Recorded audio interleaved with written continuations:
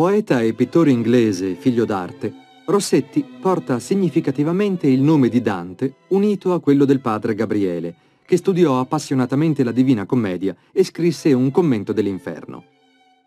Numerose opere di Dante Gabriele sono dedicate al mondo dantesco, a partire dal quadro Dante sorpreso a disegnare un angelo, che iniziò ad abbozzare nel 1849. L'opera rappresenta l'Alighieri confortato dagli amici nell'anniversario della morte dell'amata. Nel 1848 Dante Gabriele Rossetti fonda la Fratellanza Preraffaellita, un movimento pittorico volto a riscoprire la semplicità espressiva dei pittori che precedettero Raffaello.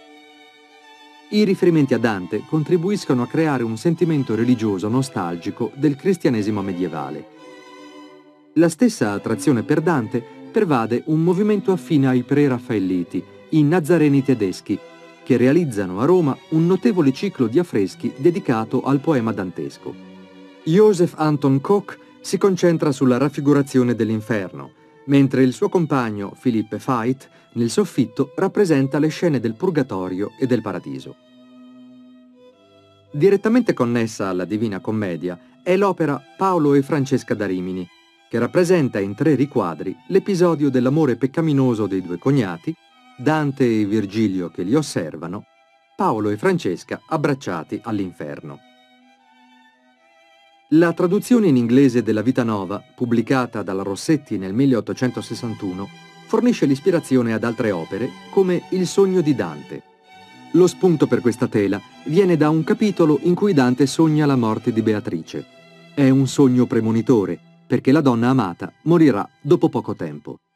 Le vicende biografiche del Rossetti, come il suicidio della moglie Elizabeth Sidlow nel 1862 che lo gettò nello sconforto, influenzano le sue opere dense di emozioni, fervore creativo, glorie e depressioni. Numerosi ritratti femminili in abiti medievali, come la donzella beata, rimandano all'immagine dantesca della donna ideale.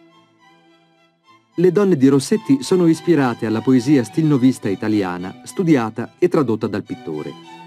Nel dipinto L'amata, un coro di donne sembra proteggere la figura centrale, mentre nella ghirlandaia la donna è simbolo della bellezza della natura.